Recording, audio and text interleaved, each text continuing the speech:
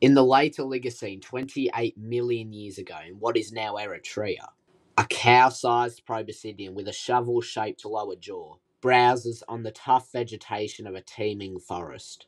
In spite of having both a trunk and two tusks, this animal was not a modern elephant or an ancestor, but rather the ancestor of their relatives, named Eritreum.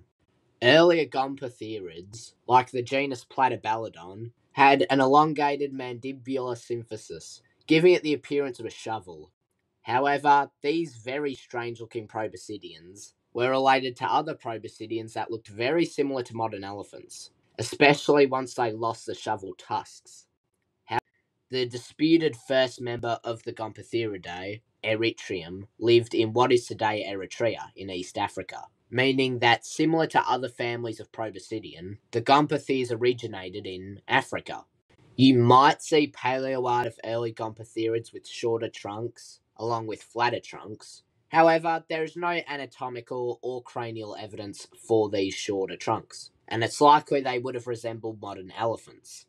The genus Gomphotherium lived in what is today Afro-Eurasia and North America from the early Miocene to the early Pliocene. The genus Gomphotherium lived in what is today Afro-Eurasia and North America from the early Miocene. This genus has 13 recognized species, along with 30 junior synonyms, showing just how widespread and successful this genus was. Though certainly small by the standards of modern elephants, at least in most species, some individuals of some species could attain sizes equivalent to those of modern African elephants, weighing nearly 7 tons. Some species of Gomphotherium have been found to be browsers, though others are confirmed to be grazers. Considering that the Gomphotheres were alive at a time when Earth was mostly drying up, with woodlands being replaced by grasslands, being able to take advantage of grass was hugely beneficial to a species' survival, leading to their persistence. Eventually, more recognizable genera would begin to emerge, which can be seen in Sinomastodon, appearing in the late Miocene and dying out in the early Pleistocene. Eventually, more Sinomastodon remains are known from China, Japan, Thailand, Myanmar, and Indonesia, and they possibly lived in India making it at the time one of the most widespread genre of proboscideans. However, even towards the end of the Pliocene epoch, shovel-mouthed Gomphotheres were still around, as can be seen in Rhynchotherium, containing just one species living from 13.65 to 3.6 million years ago. Stegomastodon and its four species were likely the killer of this particular genus, as they were around the same size, and Stegomastodon seem to have migrated into North America around the same time as Rhynchotherium's extinction. After a long portion of their existence was spent in North America, their existence here would be threatened by the onset of mammoths, which arrived from Russia into Alaska and then into the main portion of North America.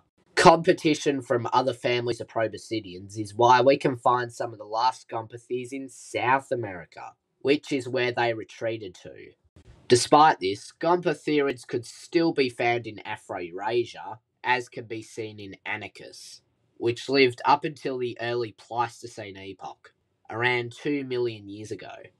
Rather than having a shovel-like mouth, Anancus had incredibly long tusks.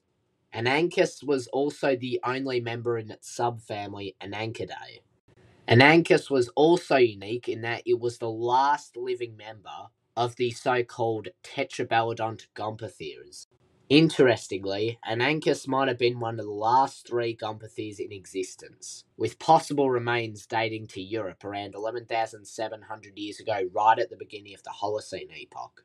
The last two surviving Gomphotheres in South America were Cuvieronius and Notiomastodon, both of whom survived till as recently as 11,700 years ago at the beginning of the Holocene.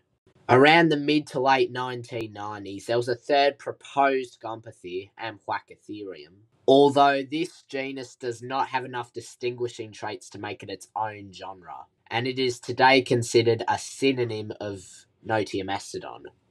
All remaining Gomphotherids discussed at this point went extinct around 11,700 years ago. right on the Pleistocene Holocene transition.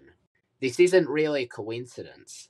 The extinction of these Gomphotheres aligns nicely with the extinction of other megafaunal families and genera around the world, including ground sloths, saber-toothed cats, and almost all mastodons.